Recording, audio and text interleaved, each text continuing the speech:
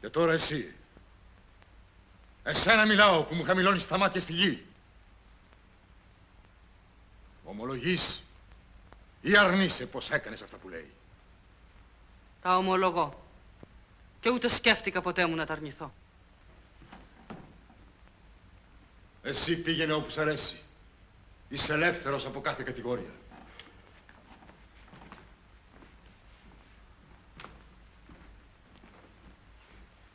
Και τώρα απάντησέ μου εσύ. Σύντομα και χωρίς πολλά λόγια.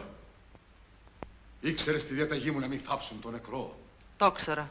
Και μόνο τούτο τόλμησες να παραβείς τους νόμους μου; Δεν με διέταξε ο Δίας. Ούτε οι θεοί του κάτω κόσμου μας όρισαν τέτοιους νόμους. Κι ούτε φαντάστηκα ποτέ πως οι διαταγές σου θα έχουν τέτοια δύναμη, ώστε να μπορείς εσύ ένας θνητός να ξεπεράσεις τους άγραφτους και ασάλευτους θεϊκούς νόμους, που δεν είναι ούτε σημερινοί, ούτε χθεσινοί, μα αιώνιοι. Και κανείς μας δεν ξέρει από πότε υπάρχουν. Δεν λυπάμαι που θα πεθάνω. Αν όμως άφηνα ακίδευτο τον αδερφό μου, γι' αυτό ναι, θα λυπόμουν.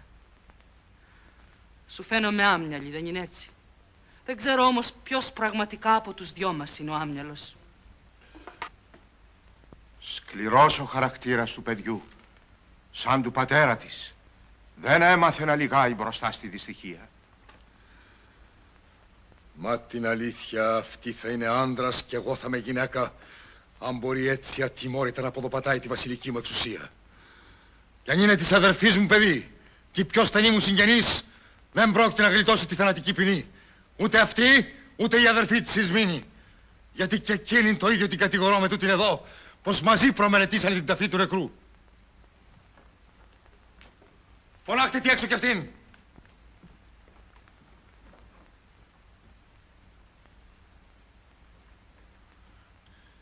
Μα πιο πολύ συχαίνω με αυτόν που πιάνεται πάνω στο έγκλημα και προσπαθεί να παραστήσει το θύμα με τα μεγάλα λόγια. Σκότωσέ με λοιπόν. Τι άλλο θέλεις παραπάνω; Τίποτε άλλο δεν θέλω. Μου φτάνει αυτό. Ε, τότε μην αργείς. Όσο για τους νόμους ούτε τους παραδέχομαι, ούτε εύχομαι να υπάρξει άνθρωπος που να τους παραδεχτεί. Γιατί ποια μεγαλύτερη τιμή μπορούσα να είχα παρά να κυδέψω τον αδερφό μου. Όλοι ετούτοι είναι με το μέρος μου. Και θα στο λέγανε καθαρά αν δεν τους έδινε τη γλώσσα ο φόβος. Αλλά μόνο οι βασιλιάδες έχουν το προνόμιο να κάνουν και να λένε ό,τι τους αρέσει. Φωνάκι σου μέσα σε ολάκερη θύβα πιστεύεις πως έχεις δίκιο. Το πιστεύουν και τούτοι, αλλά μπροστά σου σωπαίνουν. Ντροπή σου! Γιατί ετούτοι βέβαια δεν συμφωνάνε μαζί σου. Δεν πέθανε κανένας δούλος. Μα ο αδερφός μου. Πολεμώντας την πατρίδα του. Ενώ ο άλλος πέθανε υπερασπίζοντάς την. Στον Άδη οι νεκροί έχουν όλοι τους ίδιους νόμους. Μα όχι και την ίδια κρίση ο καλός από τον κακό. Ποιος ξέρει αν αυτά έχουν πέρασει εκεί κάτω. Δεν γίνεται φίλος ο εχθρός, μήτε στον κάτω κόσμο, ούτε και αγαπημένος. Εγώ δεν γεννήθηκα για να μισώ.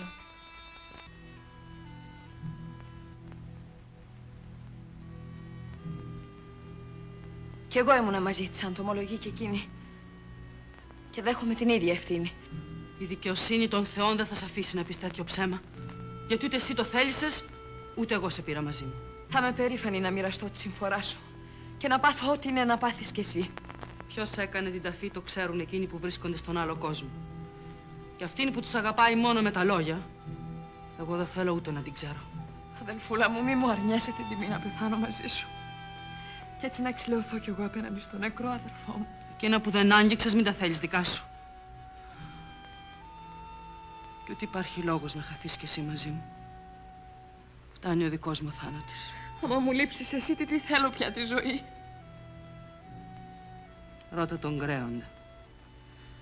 Εσύ που τον λογαριάζεις. Από τις δυο αδερφάδες η μια τρελάθηκε τώρα. Μα η άλλη φαίνεται πως είναι τρελή από τον καιρό που γεννήθηκε. Το μυαλό σαλεύει, βασιλιά, όταν σε βρει το κακό. Και το δικό σου σάλεψε από τη στιγμή που σκέφτηκες να γίνεις συνένοχη με τους κακούς. Μα πες μου, για ποιο λόγο θα ζήσω εγώ χωρίς ετούτην εδώ; Μη λες ετούτην εδώ. Γιατί ετούτη δεν υπάρχει πια.